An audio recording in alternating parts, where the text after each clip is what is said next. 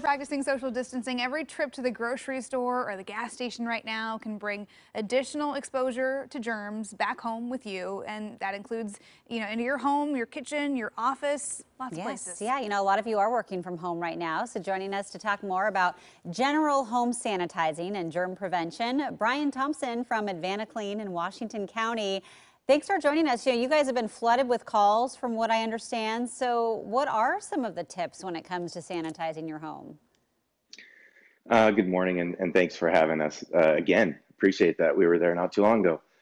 Um, so I usually don't like to recommend using bleach, but in, in light of this uh, specific scenario that we're living in today, uh, typically you're going to use a bleach water solution a little bit of bleach, say like mm, a third a cup to a gallon or four teaspoons to a quart of water. And what you're going to do is you are going to clean all the high touch surfaces like, well, in your home office, it would be your keyboards, your mouses, your screens on your computer, your phone, anything that you're going to touch. And then you really have to think about that, right? Um, and then tables, um, but you can also carry that into the kitchen all the door handles in your house, um, you know, car door handles, those kinds of things. Anywhere that your hands are going to touch, you're going to need to clean that. And there's a specific way to clean that. Yeah, so Brian, let's talk about this kind of the technique to wipe it down and then mm-hmm. also mm -hmm. how long this solution has to sit on stuff. Because I know I've, I've read the fine print on the back of some of those cleaning oh, products. You read that, I never says, do. yeah, and it says it has to stay wet for like 60 seconds or, or more than a oh. minute. I didn't realize that you can't just spray it and wipe it and be done. Mm. Yeah, no, that's absolutely correct. Um, you have to allow what, what we call dwell time, right? Uh, allow the, the magic to work. You know, the cleaning solution needs to be able to sit for a specified amount of time, whether it be 30 seconds or 60 seconds. 60 seconds is, is great because it does allow the time to clean. Um, but as far as actual wiping, we suggest using, well, a number of things. This is a microfiber towel. And if you can get different colors for different rooms, we suggest that. But what's most important here is that, you know, the way we're used to cleaning is you spray and then you just clean like this, right?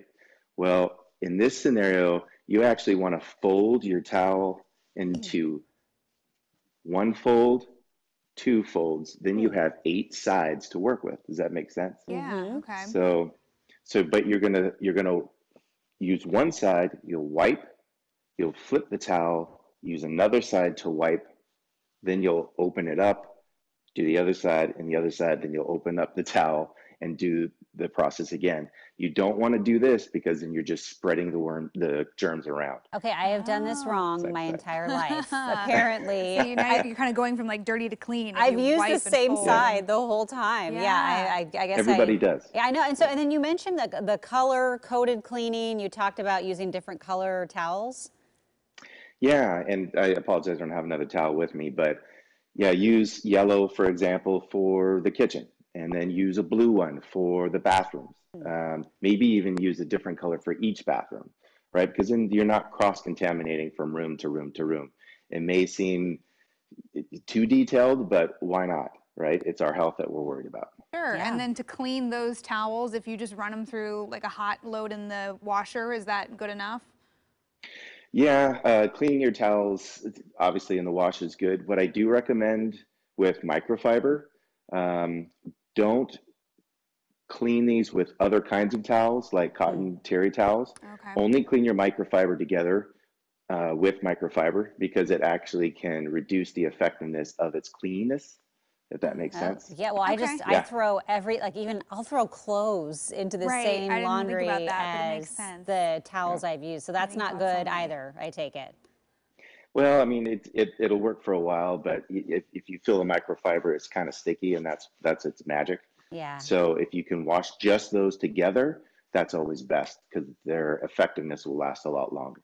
Interesting. Mm. I like the idea of the microfiber cloth though because you know yeah. it saves you on the paper towels too that no oh, one can buy definitely when, you're, when exactly. you're, at the store. Brian, in your um, expertise, in your opinion, what's like the most overlooked area? What's the one spot that you want everyone to clean today that maybe people haven't cleaned?